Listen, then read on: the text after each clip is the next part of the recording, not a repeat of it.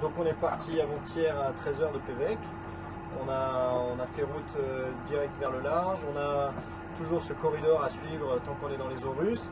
Et on a un permis d'échantillonner dans les eaux russes qui courait jusqu'à ce matin 8h. Donc on l'a utilisé au maximum en faisant une station euh, hier après-midi. Et puis ce matin 8h, il a fallu tout stopper, les instruments de mesure. Ce matin, on est lundi donc. Ouais, lundi matin, 8h, heure locale. Euh, minuit, heure de Moscou, il fallait tout stopper. Donc on a maintenant on est libre de naviguer où on veut dans les eaux russes et euh, il faut en sortir maintenant. Donc on fait route plein est pour rejoindre euh, la zone économique euh, exclusive américaine dans laquelle on aura le droit de de nouveau de, remettre en route nos appareils de mesure.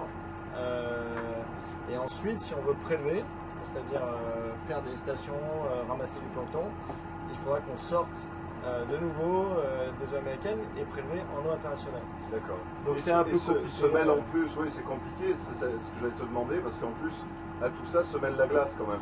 Voilà, donc là il y a une espèce de langue de glace qu'on voit bien là sur la carte, euh, qui est euh, là au nord c'est la banquise, la vraie banquise, et là en, en plus de ça il y a cette espèce de langue là qui est euh, en- en vraiment euh, compacte et qu'on ne peut pas franchir avec Tara, donc on, on va s'employer à la contourner pour venir ici dans les, dans les eaux internationales. là.